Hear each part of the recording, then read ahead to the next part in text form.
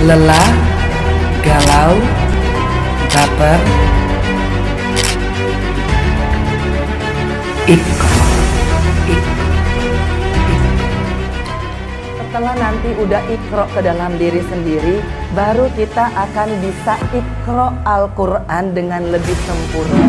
Kalau kita sudah biasa untuk ikro, kita melatih diri kita, kita belajar mengelola, kita juga menghabituasi, dilatih sehari-hari, insya Allah gelombang berapapun meternya kita siap.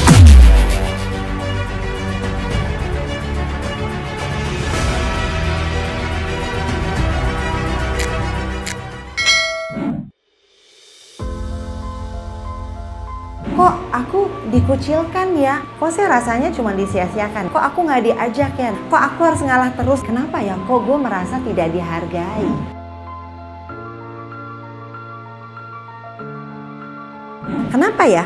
Kok tubuhku kok seperti ini? Kalau kita bergetar atau jantung berdebar, kita rasanya biasa-biasa aja, tapi keringet dingin udah netes. Kenapa ya? Kok ini sensasi tubuhku nggak bisa bohong nih. Sensasi tubuh itu nggak bisa dibohongin ya teman-teman.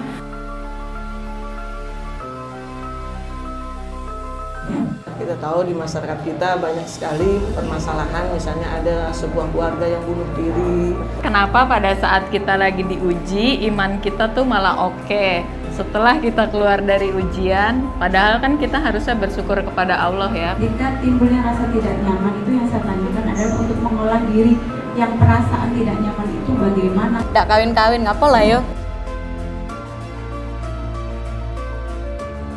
Aku sih maunya yang happy-happy aja bisa nggak?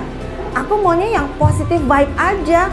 Aku nggak mau deh deket-deket sama toxic-toxic vibe. Pengennya kita ikhlas-ikhlas aja, tapi nggak bisa dipungkiri rasa itu ada. Nah, cepet-cepet pengen ikhlas, cepet-cepet pengen positif. Nanti dulu, yuk kita kaji yuk, kita ikro yuk gitu. Tapi kan itu semua dari Allah ya teman-teman. Allah juga ya kan yang memberikan rasa negatif dan rasa positif. Kira-kira itu ada fungsinya nggak? Ada.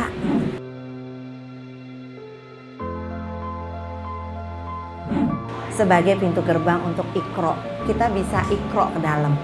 Kenapa sih rasa ini kok hadir? Yuk kita ikro sama-sama.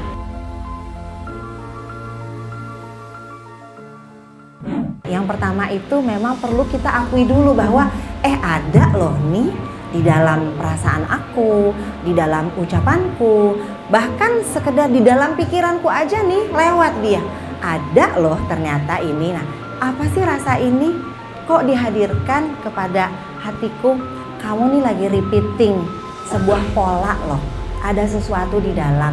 Yuk beberes yuk sebelum dia datang lagi.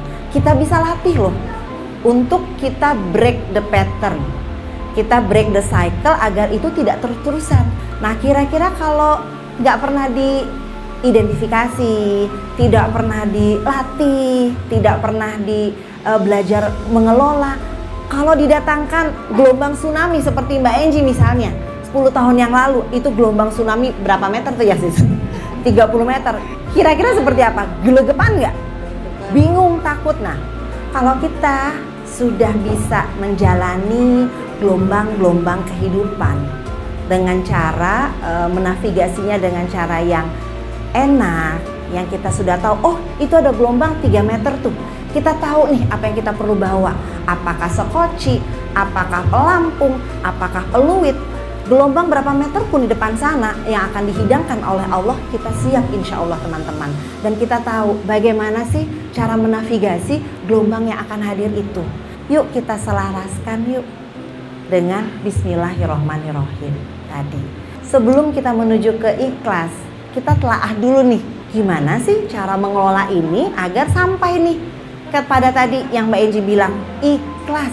Dan sampai hari ini pun jangan ibu-ibu, kakak-kakak, bunda-bunda berpikir saya nih nggak dihina juga masih. Saya nggak dikucilkan masih. Hari ini Angelina Sondak masih dihianati masih.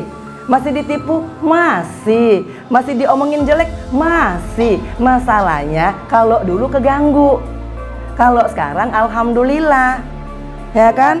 Allah bilang apa? Wala tahinu wala tasanu. Gak usah kamu bersedih hati. Gak usah kamu lelah. Hadapin orang-orang begitu dengan keyakinan bahwa apa? Bahwa hanya Allah yang akan membalas kebaikan kita. Makanya kita nggak usah berbuat baik untuk dibilang baik. Coba kita ikrok ke dalam diri kita. Kalau kita mengaku baca Al-Quran, tapi kita nggak tenang, berarti kita nggak baca Al-Quran. Kalau kita baca Al-Quran, tapi kita nggak senang, berarti kita nggak baca Al-Quran. Karena Allah udah mengatakan bahwa di sinilah kabar gembira. Masalahnya kita sendiri pun kadang-kadang nggak tahu apa yang kita bacakan.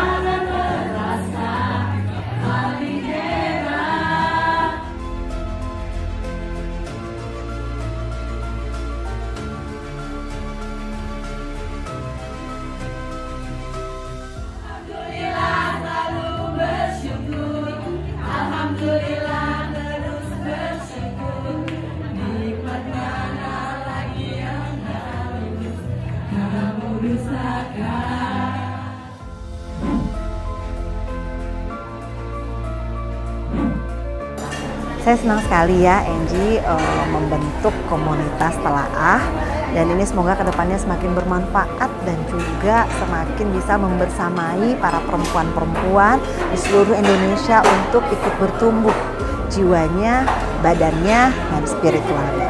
lebih sekarang lebih memang sadar diri ya sayanya kalau seandainya memang ada sesuatu hal gitu ya tentang eh, diri saya yang tidak mengenakan atau merasakan sesuatu ya emang benar kata Mbak Alia itu harus ikro ya. Ikro itu sebenarnya kalau saya telaah untuk diri saya sendiri sebenarnya introspeksi diri ya.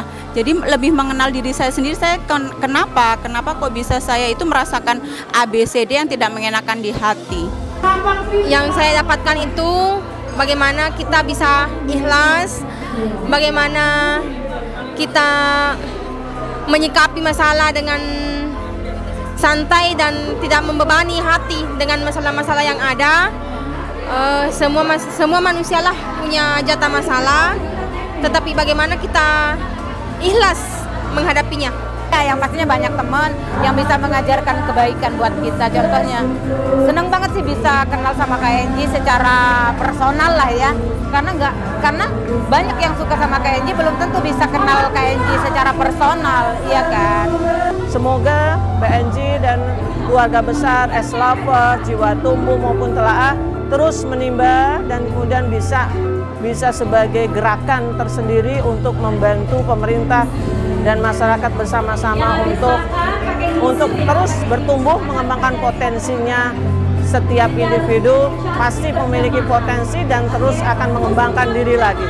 Terima kasih itu saja barangkali harapan saya.